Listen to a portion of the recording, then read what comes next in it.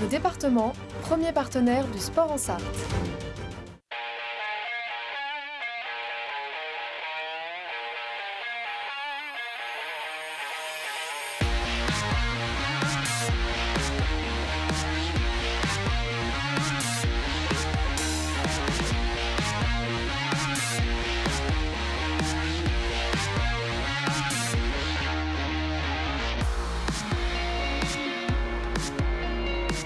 Bonsoir à toutes et à tous, bienvenue dans 72 Sports. Permettez-moi tout d'abord de vous souhaiter une excellente année 2024. Évidemment, je vous souhaite les meilleurs vœux avec plein de sports, comme d'habitude. 2024, on commence avec un joli programme. Ce soir, on parle de course à pied, évidemment.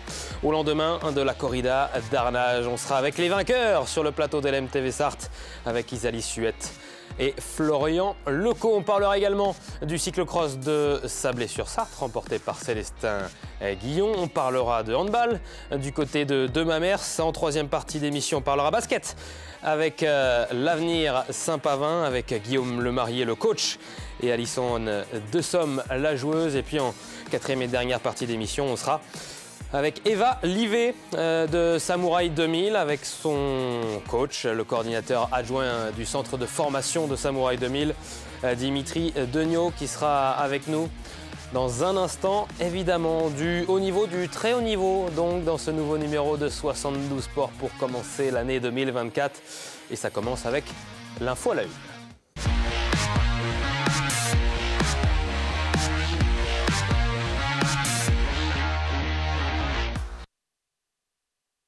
6200 coureurs à Arnage. Et moi, je rentre sur le plateau rejoindre nos deux invités, nos deux premiers invités de cette année 2024.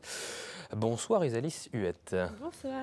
Bonsoir Florian Leco. Bonsoir. Merci beaucoup d'être sur le plateau de d'LMTV Sarthe euh, avec peut-être encore euh, les, les jambes lourdes. hein. Vous avez euh, couru euh, hier, vous avez gagné. En plus, on va en parler dans, dans quelques instants euh, de cette belle victoire donc du côté de, de Arnage. Tout d'abord, un nouveau succès hein, pour, euh, pour cet événement, pour euh, ce 10 km d'Arnage. Nouveau succès donc euh, de cette belle course qui se tenait ce dimanche après-midi avec euh, deux distances au programme. Le 5 km et le, le 10 km avec plus de 1200 coureurs qui se sont élancés. Florian, euh, première question, même si euh, vous, vous veniez euh, évidemment pour, pour aller chercher la victoire, ça doit toujours faire plaisir de, courir avec autant de monde au départ? Ah Oui, ça fait, ça fait plaisir de voir autant de monde à une course, surtout un nombre assez incroyable de spectateurs qui faisaient vraiment chaud au cœur quand on passait devant eux. Donc c'était vraiment, c'était vraiment une belle course. Euh, quand on est au, départ d'une course où il y a 1200 coureurs, ça doit un petit peu jouer des, des coudes sur la ligne de départ, non? Oui, pas, pas très facile de se placer au départ, surtout que quand on est une fille et un pas très un petit gabarit, mais euh, on essaye de jouer des coudes et faire sa place comme on peut. Comment ça se passe? On a le droit de se, de, de- de se placer euh, devant sur les deux, trois premières lignes de, départ quand on le fait comme vous pour, euh, pour jouer la, victoire. euh, euh, Il y, a des sas, comment ça s'organise tout ça pour, pour le départ Pour éviter évidemment de se retrouver en, en 20e ligne, on le voit avec le trafic euh, et les nombreux coureurs, ça peut être compliqué derrière. Bah, c'est vrai que de temps en temps il y a des sas, mais euh, ici, euh, enfin comme hier à Arnage, il n'y en avait pas. Donc on s'est placé hein, au dernier moment euh, sur la première et la deuxième ligne euh, pour partir euh, devant et, et pas trop se faire bousculer. Bon, vous, Florian, en tout cas, vous avez trouvé la solution pour pas euh, avoir à jouer euh, des, des coudes trop longtemps. Vous partez euh, très vite, tout seul, en solitaire, et, et- et vous allez jusqu'au bout comme ça. C'est la tactique que vous avez choisie ce dimanche du côté de Arnage.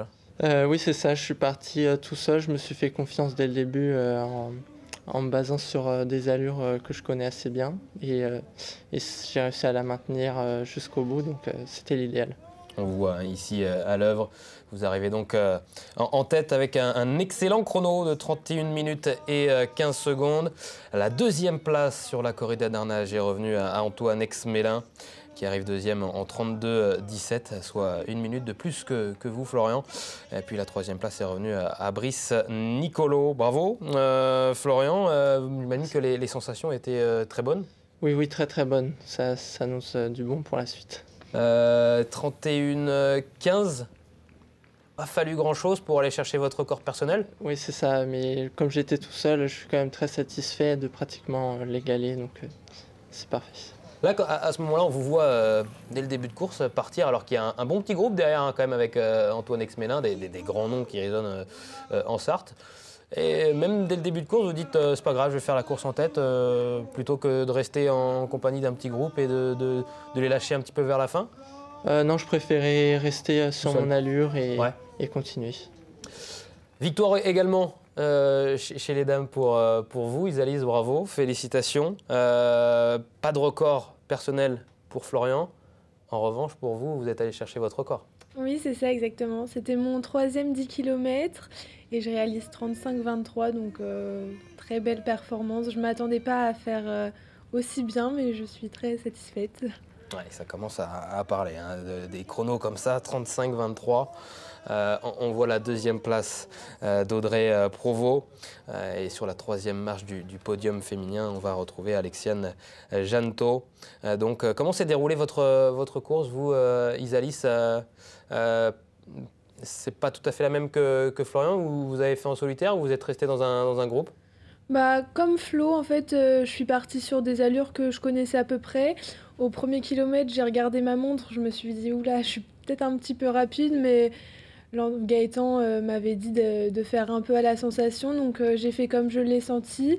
Et finalement, j'essayais de me cacher un petit peu derrière, les, derrière des groupes de, garçons que, je voyais pour pouvoir euh, être caché du vent et ne pas me retrouver seule. J'ai été seule à quelques moments, mais, mais finalement, ça l'a quand même fait. Et j'étais la seule fille devant. Je savais pas où étaient les filles derrière, mais mais voilà, ça s'est bien passé et il y avait pas mal de, garçons justement qui m'encourageaient et ça donnait, ça faisait plaisir. Record personnel et euh, record de, la Sarthe euh, chez les Espoirs. Euh, bravo à, Isalis, 35 minutes 23. Nouvelle donc référence, nouvelle référence en, Sarthe pour le, 10 km espoir. et vous, vous l'aviez déjà remporté l'année dernière, cette course. Ça fait, deux, succès sur la corrida d'Arnage. Une course qui vous plaît c'est ça, exactement. C'était mon premier 10 km l'année dernière euh, à la corrida d'Arnage, donc première expérience. Je réalise 36 minutes 45. Et donc là, euh, encore un beau record. plus de plus d'une minute, euh, une minute 20 même, gagnée par rapport à l'année dernière. L'évolution, vitesse grand V. C'est vrai qu'en course à pied, pour ma petite expérience personnelle qui, a commencé la, course à pied euh, euh, il n'y a pas longtemps, euh, c'est vrai que c'est un, sport dans lequel on, peut progresser relativement rapidement et quand on se prête au jeu, Florian, les, chronos s'améliorent relativement vite, même si à un moment j'imagine qu'on commence à stagner, on ne peut plus améliorer le, temps. Oui c'est ça, bah, à partir du moment où on aime ça et qu'on est régulier à l'entraînement et il n'y a, pas, a pas de secret, on peut progresser sans se fixer de limites. Retour sur euh, votre euh, saison, puisqu'il n'y a pas eu que évidemment euh, cette corrida d'arnage. Vous faites également beaucoup de, pistes, Florian, avec plusieurs disciplines, hein, le, 1500, le, 5000 aussi? C'est ça, oui, le 1500, principalement le 5000, le 1500 étant surtout pour m'aider à gagner de la vitesse sur le finish d'un 5000 mètres. Et puis après, de, de la route, des 5 et des 10 km avec toutes ces disciplines, qu'est-ce que vous préférez? Quelle est la discipline de, prédilection? On parle donc de, de 1500 sur piste, de, de 5000 également les, courses hors stade avec euh, sur, sur la route le 5 km, le 10 km comme celui d'Arnage ce dimanche, également le, cross, on en parlera dans quelques instants. Quelle est la discipline que, que vous préférez? Celle que je préfère pour l'instant, c'est le 5 et le 10 km sur route, où pour l'instant, c'est sur ces distances que j'ai pris le plus de plaisir. Et vous, Isalis, vous faites aussi euh, pas mal de, disciplines, que ce soit le, 800 mètres sur, euh, sur la piste, le, 1500, le 5 euh, bah, et 10 km sur, le, la route. J'ai vu également que vous faisiez du, du. Est-ce que vous pouvez expliquer à nos téléspectateurs en quoi consiste le, le oui, je faisais du steeple avant. c'est là où j'ai eu ma première sélection en équipe de France et ma première médaille nationale. Donc c'était du 2000 mètres steeple euh, quand j'ai eu ma sélection. En fait, euh, donc c'est 5 tours de piste et on a des barrières à sauter, dont une rivière euh, à 150 mètres de l'arrivée avec de l'eau. Et vous avez, vous avez arrêté le, steeple, cette discipline J'ai arrêté le steeple suite à une blessure. Je sais qu'un jour j'y retournerai parce que c'est une discipline que j'adore. Pour le moment, je ne suis pas encore prête à y retourner et je vais rester sur 1500 mètres, mais un jour, euh, vous me reverrez sûrement sur du steeple. Avec grand plaisir, évidemment. Euh, les prochains objectifs pour, euh, pour vous, Florian Isalis, c'est très vite. Hein, je crois que ça arrive dès ce week-end avec le retour sur, sur le cross. Oui, dès ce week-end pour, bah, pour essayer de, de, garder le titre sur le cross long. Puis après, partir sur la saison de cross. Donc, je suis encore indécis sur le cross long, le cross court. Donc, on, on verra ça après. Oui, parce que c'est vrai qu'il faut choisir. On ne peut pas faire les, deux ou on peut essayer sur une journée de faire et le, et le court et le, et le long sur les, les crosses? euh, Non, non, il faut, mieux choisir euh, le court ou le long. Euh, Isalis, les championnats départementaux, donc c'est ce week-end du côté de, de Harnage. Vous aussi, vous avez envie d'aller chercher le, titre, j'imagine? Oui, forcément. Après, ça va être mes premiers championnats départementaux sur cross-long, donc première expérience aussi. Il y a des filles qui ont plus d'expérience que moi sur euh, le cross-long, donc je pense que ça va être une belle bataille. Euh, et il y a des, des, beaux, des beaux noms euh, dans la liste des engagés, donc ça va être bien. Ouais, ça, ça sera à suivre donc ce week-end du côté de, de Hornage. Et la semaine, la semaine d'après, le week-end d'après, donc il y aura également le, fameux Cross Ouest France. Là aussi, vous défendrez vos chances et peut-être même ensemble, puisque vous allez faire le, le, le relais mixte. C'est ça, oui. Le relais mix le samedi euh, à 16h sur une équipe composée de, de 4 personnes. Donc, euh, deux garçons et, euh, et deux filles, hein, c'est ça? Deux garçons, deux filles, et on a chacun 1800 mètres, il me semble, à parcourir. Avec euh, Endurance 72 Oui, Endurance 72. Et euh, vous êtes coaché par euh, Gaëtan Pernet. Gaëtan Pernet, et donc du côté de, de l'île au sport notamment, et de l'Arche de la Nature avec le, club d'Endurance 72. Ça représente combien de kilomètres par semaine d'ailleurs ces entraînements? Parce qu'en antenne, on, en parlait, il y a un entraînement quotidien du côté de, de l'île au sport avec Endurance 72. Combien vous, vous faites de kilomètres par semaine? Ah, pour ma part, ça représente 9 euh, entraînements et à peu près 100, 100 km par semaine de, course à pied. 100 km par semaine, euh, Isalis, et, euh, vous Moi, pour ma part, c'est un petit peu moins. je tourne à 70 km à peu près. Ok. Vous êtes venu avec des, vos outils de travail, si je peux me permettre. Euh, on, a, ici deux types de, chaussures et je vous remercie d'avoir ramené vos, chaussures parce qu'on parle euh, de la performance en course à pied, on parle euh, de l'hygiène de vie, forcément, de la bonne préparation avant une compétition. Une chose qui est de plus en plus importante dans ce sport, c'est aussi le, matériel. Euh, et donc, euh, c'est pour ça que je vous ai demandé de ramener, euh, si vous le souhaitiez, vos, chaussures, avec lesquelles vous avez couru d'ailleurs ce dimanche sur la corrida d'Arnage et que vous avez gagné. On commence par les chaussures de, Florian sur, sur la route. quelles sont les, particularités de, cette chaussure?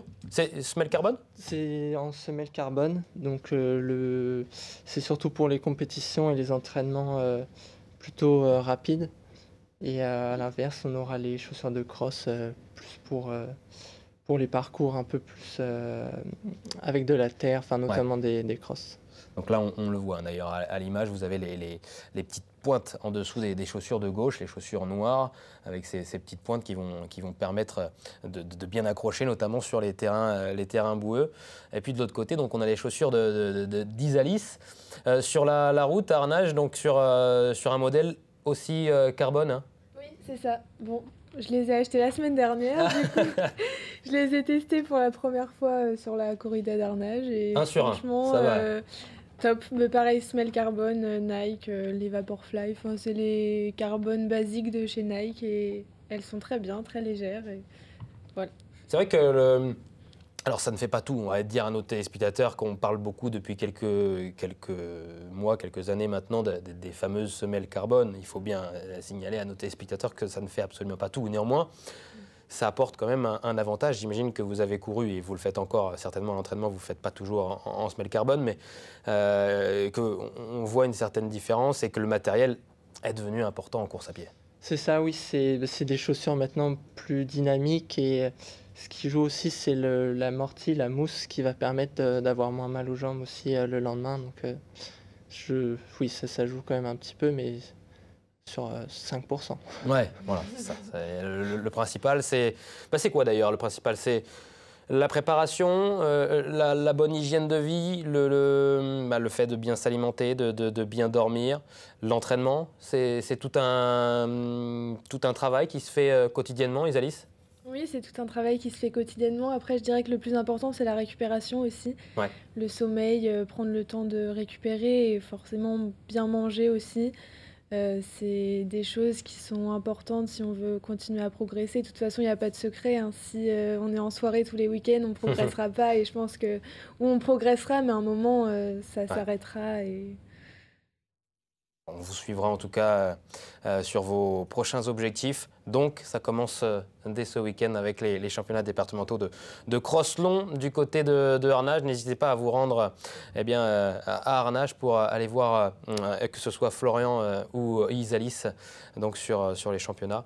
Et puis Arnage, ça vous a porté chance ce week-end. Il n'y a pas de raison que ça soit euh, euh, l'inverse ce week-end. Merci beaucoup Isalis, merci euh, Florian d'avoir été invité sur euh, LMTV Sardes dans 72 Sports. Et puis nous, on continue de parler sport avec le reste de l'actualité. Dans un instant, on parlera de, de cyclocross, mais également de handball. À tout de suite.